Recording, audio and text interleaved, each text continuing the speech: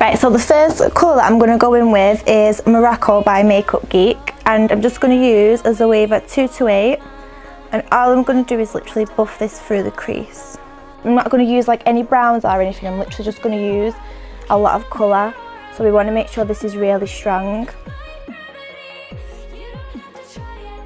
Then when there's hardly anything on your brush, you can just kind of brush it into the brow bone a little bit. And you want to make sure that you're bringing it right on the outer corner as well in kind of like a C shape because it's going to be a rounded eye. You want to make sure as well that you bring it right in this inner corner.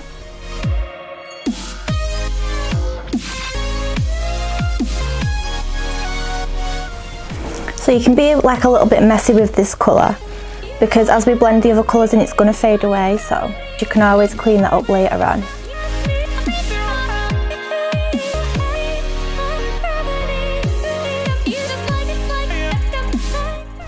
So the next brush that I'm going to go in with is a 221 by MAC and I'm going to use this like light purpley shade called Carnival by Makeup Geek and I'm just going to start to build this up through the outer part of her eye now.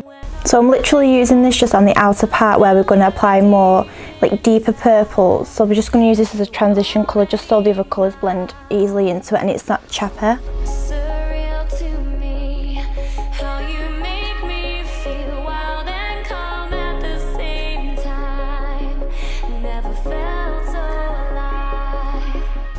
Sometimes coloured eyeshadows can be, can be quite chalky so you want to make sure that you're really blending them into the other colours. So I'm literally being really light-handed when I'm applying it.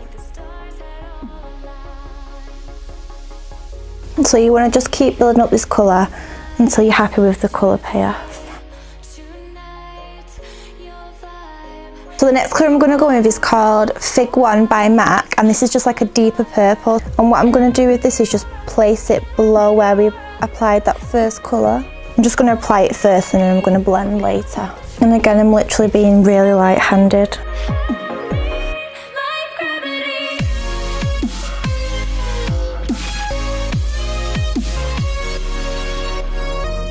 So once you're happy with the colour payoff, then you can go back in then and blend.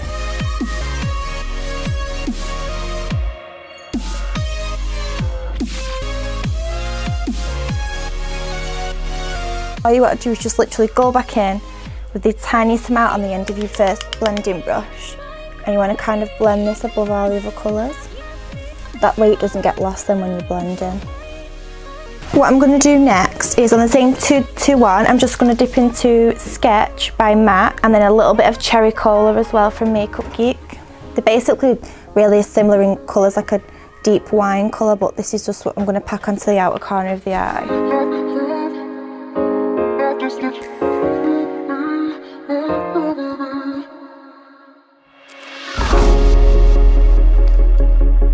To always make sure as well that you're lifting the brow bone.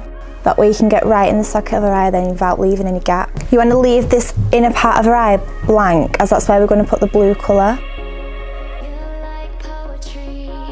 So I'm going to use this blue shade on a MAC 217 and I'm going to apply this on the inner corner of her eye and this is just by Makeup Geek and it's called Neptune. So you want to start to run this through the inner part of her eye. So with this colour as well, you want to take your time and build up because you don't want it to go everywhere.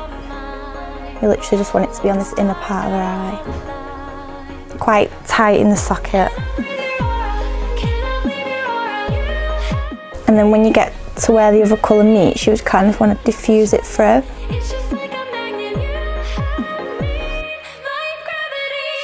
I like to kind of just get it on at first and start to build the colours up and then I can go back in later on then and see maybe where I need to blend or add some more colour.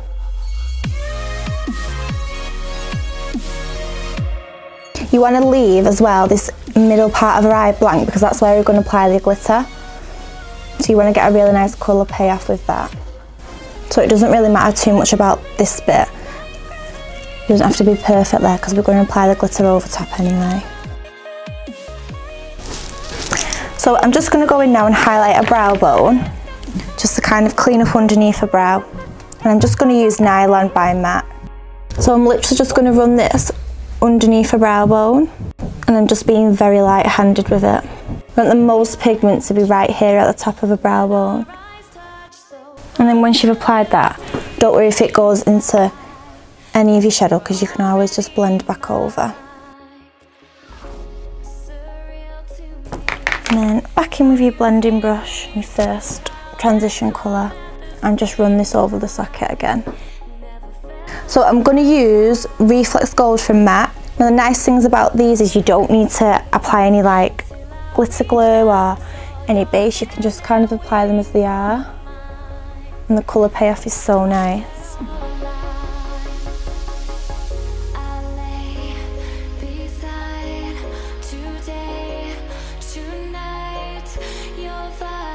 What I'm going to do now is go in with the glitter. So I'm going to use this one, which you've probably seen on our Instagram.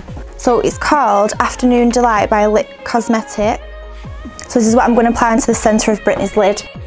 So I'm just going to coat both sides of the brush in the glitter, tap off any excess, and then what you want to do is literally just start to pack it on. So again, you want the majority of colours to be right in the centre of the eye. If you have any too much glitter, just kind of wipe off on the back of your hand and then with whatever's left on my brush I'm going to almost kind of blend it onto the eye. So you never want your, your brush to be too wet with the glitter glue otherwise it can become like a paste and it's hard to blend out then. I'm just using a MAC 242 and this is what I use to apply all my glitters. I just feel like that um, it's easy to blend out with. You want to make sure as well that when you're applying glitter you always get your clients to keep their eyes closed until it's dry, otherwise it can transfer and then it gets in your crease.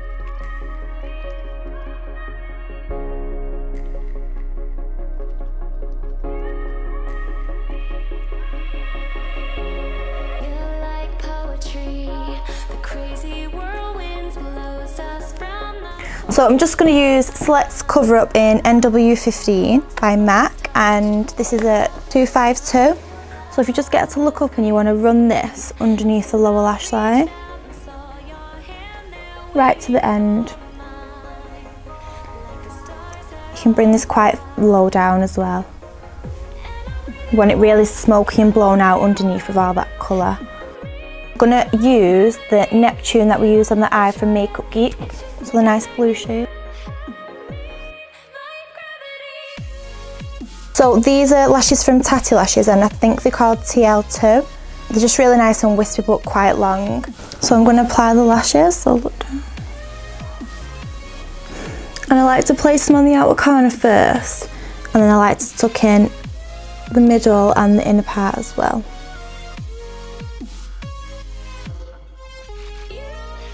So once the lashes are on, you can move on to the lower lash line then. I'm going to use this flat brush by MAC, I think it's called a 239, and I'm going to use that first lilac shade that we used. And I'm going to run this on the inner part of the lower lash line. You want the majority of colour to be right at the root of a lash, and then you can kind of diffuse it down then. But with this colour you can bring it quite low, because we are going to do it really smoky underneath. You want to almost diffuse it into that blue and then you're going to go back in with your 227 from Zoeva and that blue shade. You're going to really make this colour pop now. So again, with this, you want to bring the majority of colour right to the lash line and then when the, it's on you want to kind of diffuse it out. And with this you can kind of pull it a little bit further out on the outer corner of the eye.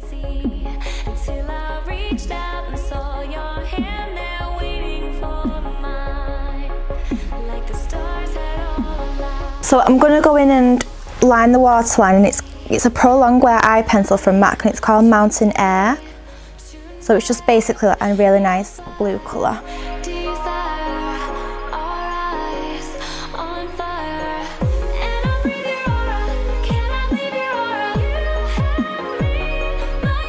So I'm going to use a damp beauty blender and I'm going to use the NARS Illuminator in Copacabana.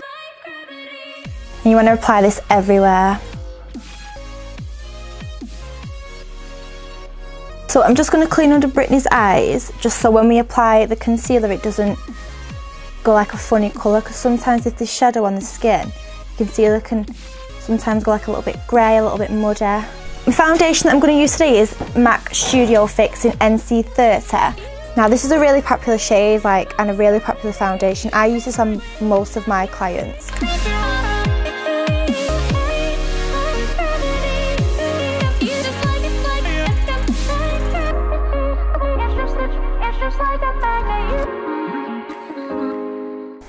So I'm going to go with the NARS Creamy Concealer in the shade Custard. I'm going to use a brush to apply it onto Brittany's face. And I'm going to use a Clean MAC 217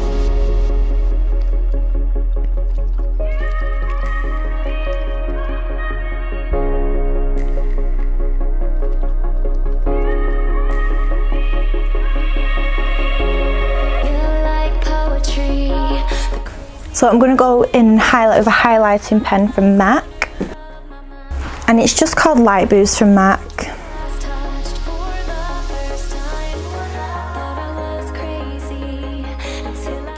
Just to create a little bit of dimension in the space.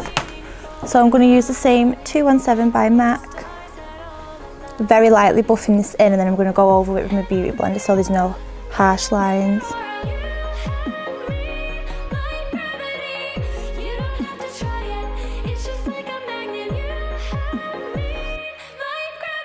So I'm just going to use the Laura Mercier powder just to set underneath Brittany's eyes.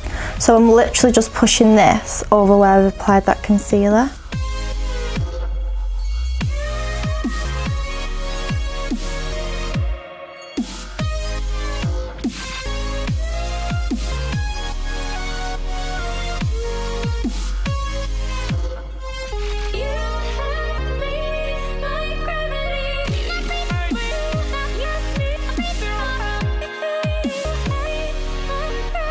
So the first contour shade that I'm going to use is Dark Golden by MAC and I'm just going to use this to start warming up the skin just very lightly.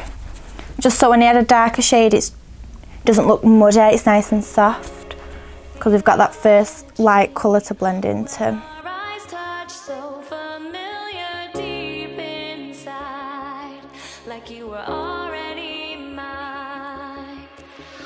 So I'm going to go with dark tan which is the same product but just a darker shade from MAC. And I'm going to start to work this underneath the cheekbones.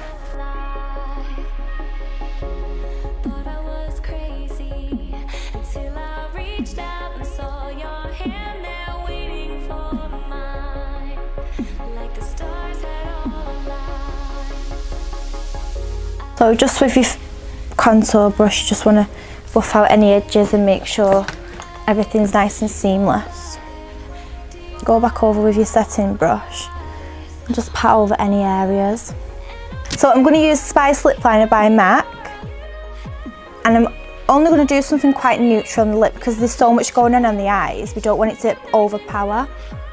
So all I'm going to do is just start to line Brittany's lips.